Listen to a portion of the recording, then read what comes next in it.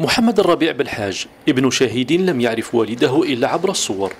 هو عميد شرطة كرمته المؤسسة التي ينتمي إليها. لسان حاله خدمة الوطن اليوم مثلما خدمه الوالد بالأمس. اسم الأب بالحاج محمد أبو قران ضحى في سبيل هذا الوطن وتوفي سنة 1959 آه، بمنطقة الناحية الثالثة بجاية الأب تاعي خلاني خلاني صغير في في كرشيمة. خلاني شهرين في كرشيمة الله يرحمه. ورانا نضحيو على البلاد هذه مازلنا راني في عندي عندي 36 سنة خدمة في, في الأمن الوطني. إحنا إحنا رانا نديو الواجب تاعنا الشهداء اللي ماتوا هم هم ادوا الواجب تاعهم.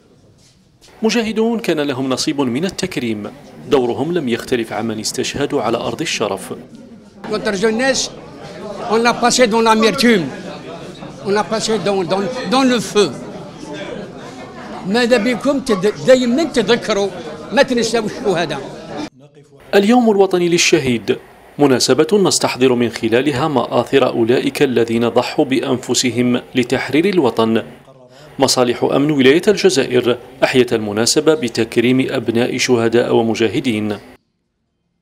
لماذا إحياء الذاكرة من بين المحاور الأساسية للسياسة الاتصالية المديرية لعمل الأمن الوطني؟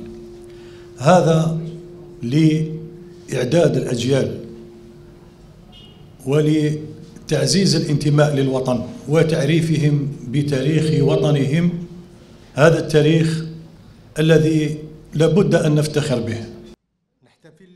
إحياء الشرطة الجزائرية اليوم الشهيد. هي محطة من محطات العرفان تجاه الثورة وترسيخ الذكرى وسط الأجيال المتعاقبة.